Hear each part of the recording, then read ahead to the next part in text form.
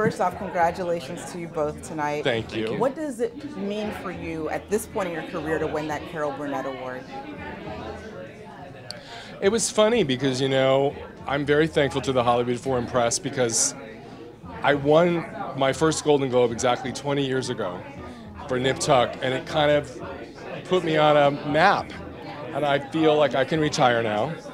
And to win this and then to have Evan win, who I've known for so long, and I'm so proud of him, it was just a tremendous um, night where it made me really look at the beginning of my life and then where I am now. I felt very thrilled.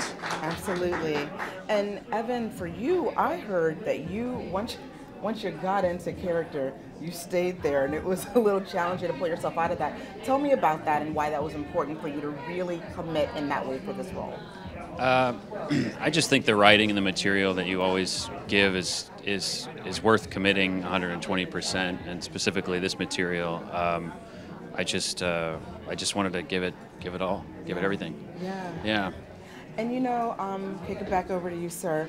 You have done so many different types of projects. Um, the, the stuff that scares me, and also the stuff that makes me sing and dance. Um, tell me a little bit about that variety, and is there a space that you feel far more comfortable in, or what is it that kind of gravitates you to these kind of extremes? I don't know. It just it feels like my childhood. You know, those are the two things that I loved. I loved horror drama and I loved musical comedy and I loved Barbra Streisand and vampires. You know, when I was a kid. so I feel like in my adult life, they, I just always feel like I, one, I try and do the opposite of what I've just done. Um, and number two, I just only do something that I would love to watch or a story that I've been obsessed with. You know, I've been obsessed with the Dahmer story for 15 years. So I finally got the right time with the right actor who waited for me. Yeah. So it felt, it just always feels natural to me. I only do things that I want to watch. Yeah. Yeah. Evan, why is it an automatic yes for you when this guy comes calling? And and tell me about that kind of on-set chemistry the two of you kind of have as as director and creator and actor. Well, we've we've worked together for so long, and I I trust you. I mean, you're you're. I don't know. I love you. You're you're like a father, uncle, friends, all of that stuff. So I felt I feel very comfortable with you. I know I'll be taken care of. I know that I can take big swings with you. Yeah, yeah.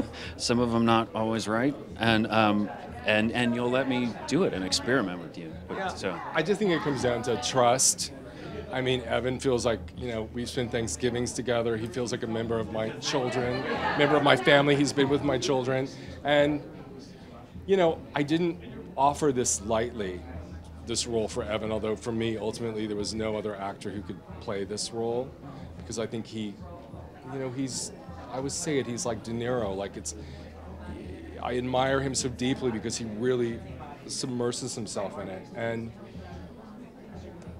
I don't know. It's just such a full circle night for this guy who I've worked with for so long that I always thought should have won so many awards for the different things that we've done.